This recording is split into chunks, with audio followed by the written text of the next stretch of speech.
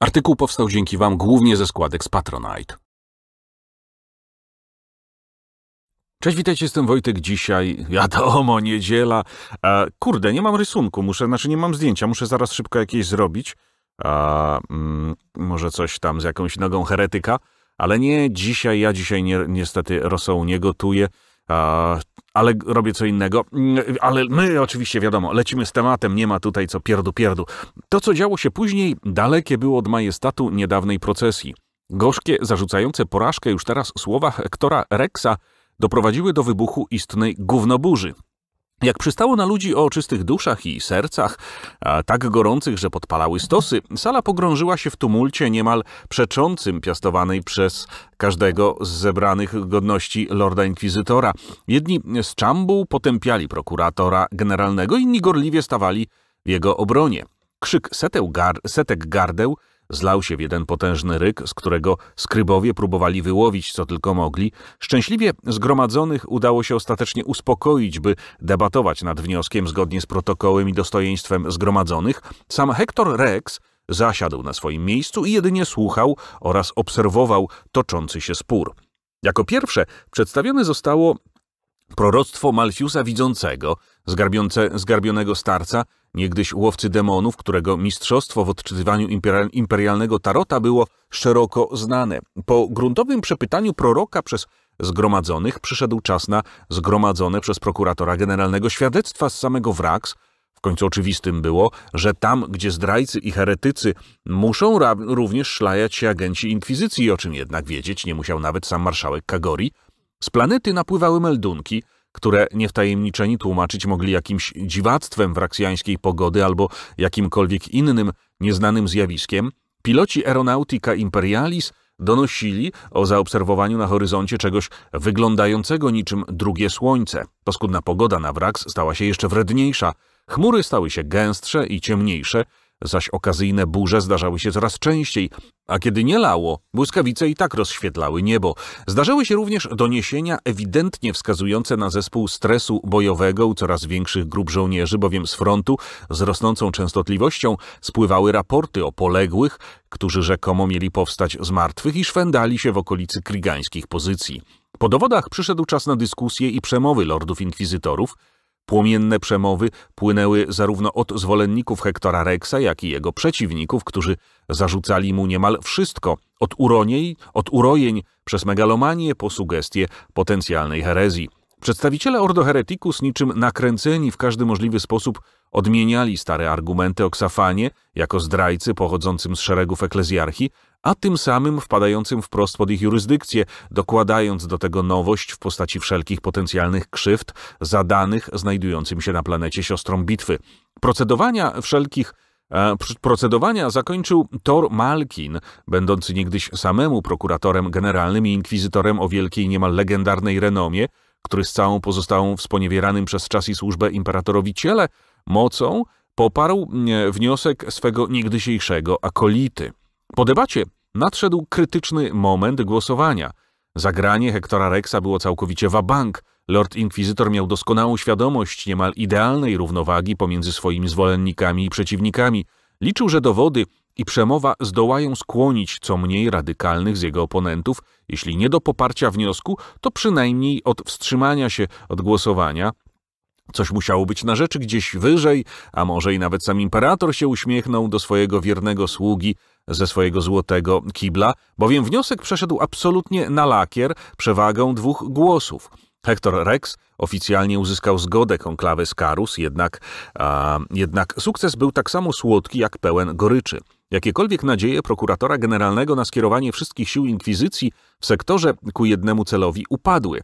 Wielu spośród lordów inkwizytorów wciąż uważało, że Rex wykracza daleko poza swoje uprawnienia. Co więcej, Rex wdepnął potężnie na odcisk Ordo Hereticus, które chociaż nieprzychylne marszałkowi Kagoriemu zachowywało się, zachowywało do tej pory jako taką neutralność. Przejęcie kontroli nad 88. Armią Oblężniczą, a tym samym włączenie jej w szeregi Ordo Maleus było niczym otwarte wypowiedzenie wojny i prokurator generalny musiał liczyć się z tym, że Ordo Hereticus będzie każdym możliwym sposobem rzucać mu kłody pod nogi. Mając mandat konklawę z Karus, Hector Rex niezwłocznie przystąpił do realizacji zawczasu zaplanowanych działań. Nakazał przygotowanie oficjalnego pisma o przejęciu naczelnego dowództwa 88. Armii Oblężniczej oraz włączeniu inkwizytorów do dowództwa każdego z regimentów na Wrax. W stronę Tytana jednego z księżyców Saturna nadana została priorytetowa wiadomość astropatyczna. Po jej otrzymaniu w stronę Wrax niezwłocznie wyruszył szybki krążownik Honor Amentum, zaś na jego pokładzie znajdował się dowodzony przez brata kapitana Arwana Sterna kontyngent szarych rycerzy, którzy w swojej twierdzy klasztornej trwali w gotowości na właśnie takie wezwania.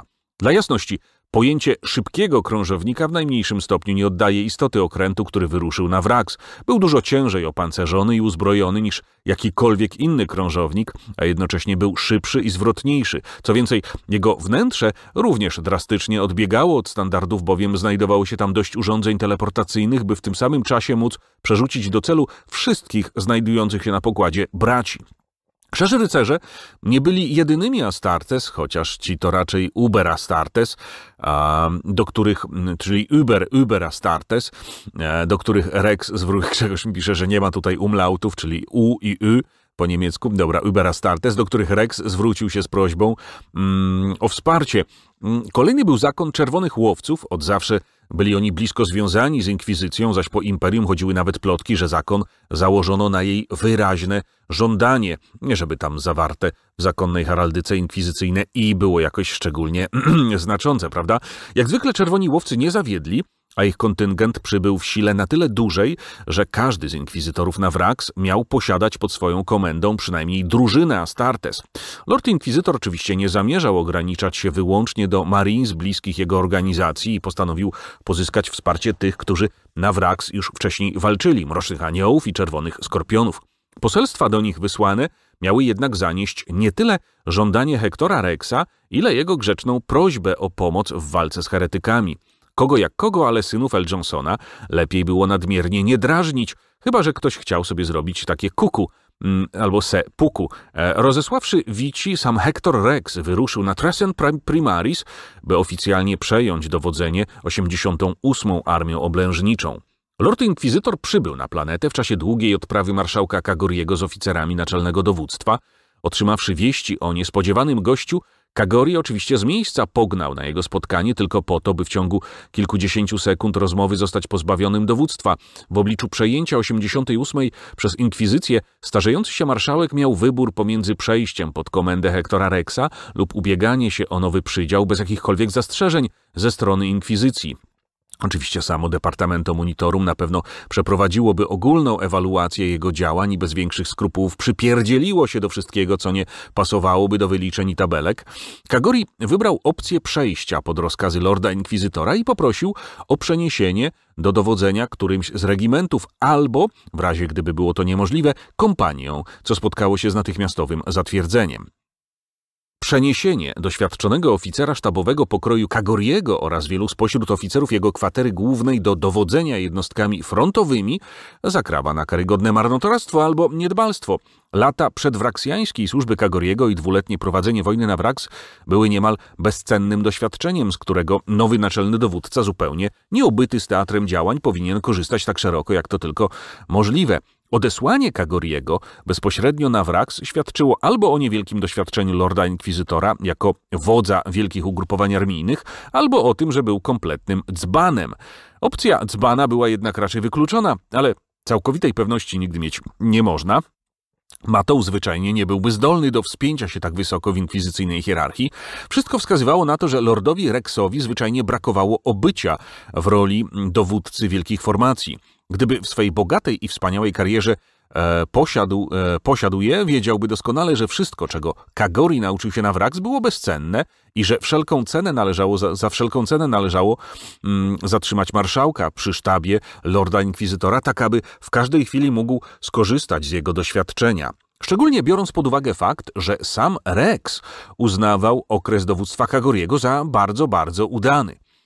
Po przejęciu dowodzenia 88. Armią Oblężniczą przez Hektora Rexa, Przyszedł nieubłagany czas totalnego bajzlu spowodowanego reorganizacją struktur dowodzenia przez nowego wodza. Wielu oficerów pozostało na swoich stanowiskach, jednak równie wielu zdecydowało się poprosić o przeniesienie i tych należało w jakiś sposób zastąpić. Lord Rex być może nawet spodziewał się takie, nawet może nawet spodziewał się takiego obrotu spraw i przytargał ze sobą jakichś oficerów zamiennych, względnie powoływał na opróżnione stołki oficerów niższego szczebla, którzy pewnie znali się na robocie nie gorzej niż ich dotychczasowi zwierzchnicy, ale nawet najzdolniejsi potrzebowali czasu na ogarnięcie zadań na nowych stanowiskach.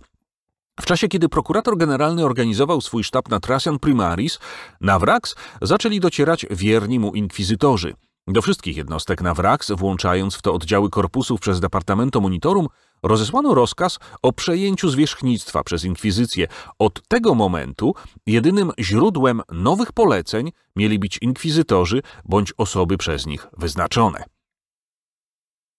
W tym miejscu Rex okazał się człowiekiem zdroworozsądkowym w stopniu, który w przypadku człowieka o czystej duszy i gorącym sercu może zaskakiwać. Świadom braku doświadczenia w dowodzeniu wielkimi jednostkami u siebie i swoich ludzi, Hector Rex postanowił utrzymać dotychczasową strukturę dowodzenia, zaś jedyną namacalną różnicą była obecność inkwizytora w każdym z regimentalnych sztabów i szwendających się w pobliżu czerwonych łowców, będących strażą przyboczną rzeczonego inkwizytora, na pierwszy rzut oka niewiele się zmieniło, jednak wojna na Wrax miała już wkrótce przybrać zupełnie nową postać. Pierwszym problemem, z którym przyszło zmierzyć się Hektorowi Rexowi jako naczelnemu wodzowi, był spadek po marszałku Kagorim w postaci domknięcia pierścienia okrążenia wokół cytadeli.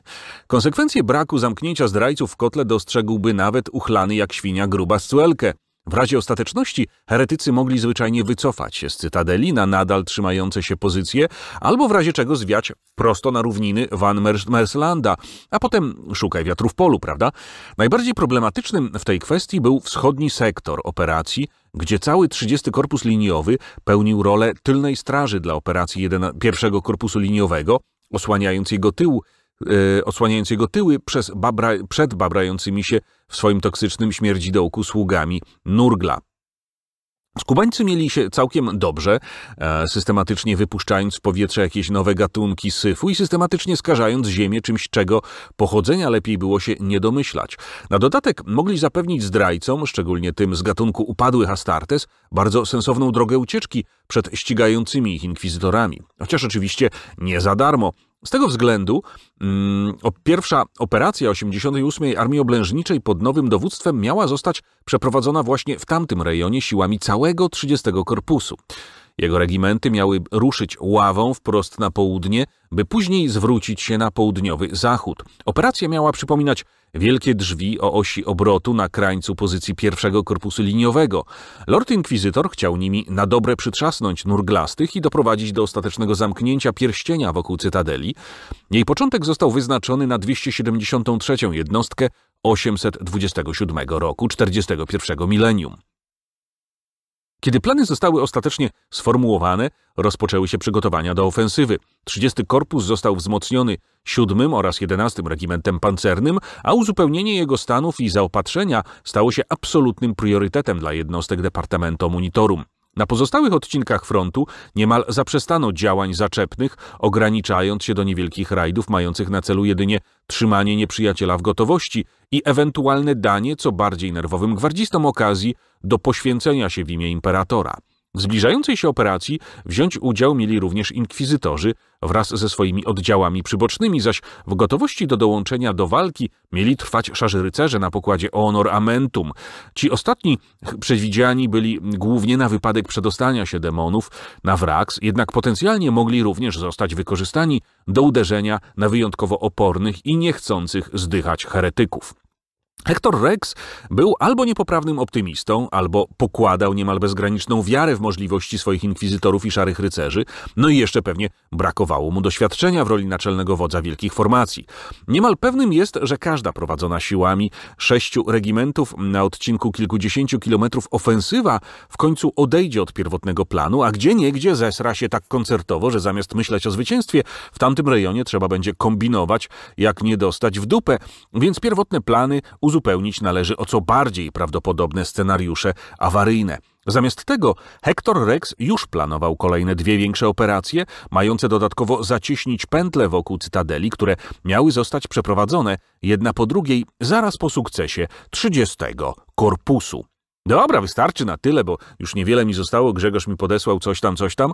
E, więc e, dzięki Wam bardzo za dzisiaj. Jak już w dzisiejszym jeszcze osobnym filmiku wspomniałem, e, za dużo wydaje na tłumaczenia, a za mało wpływa. Więc jeśli ktoś chce wesprzeć, to koniecznie, koniecznie zapraszam albo na Patronite'a, e, gdzie można regularnie co miesiąc dyszkę miesięcznie wrzucacie i zapominacie i słuchacie po prostu i dzięki temu również możecie pomijać reklamy, jeśli chcecie. Jeśli nie chcecie, to również chwała wam za to. Ci, którzy nie wspierają, no bardzo proszę, oglądajcie te reklamy, nie przewijajcie ich, bo to jest, e, zbiera się również kasa na dodatkowa na te wszystkie e, teksty, które, które są, są pisane. E, już, już powiem wam, że dzięki temu filmikowi już dwa, dwaj patroni dotarli dzisiaj, e, tak więc, tak więc dziękuję wszystkim, którzy, którzy wspierają. Mm, I co? I słyszymy się z wrak, słyszymy się za tydzień, a ja zaraz poszukam jakiegoś zdjęcia, jakiegoś schabowego może dzisiaj, z wiadomo, z ziemniakami. Nie, nie, ja, ja nie lubię, ja nie lubię tej do schabowego e, kapusty zasmażanej, wolę mizerię, tak więc poszukam z jakiegoś zdjęcia z mizerią. Trzymajcie się, do następnego razu. Cześć! Wejdź na Patronite i wesprzyj projekt.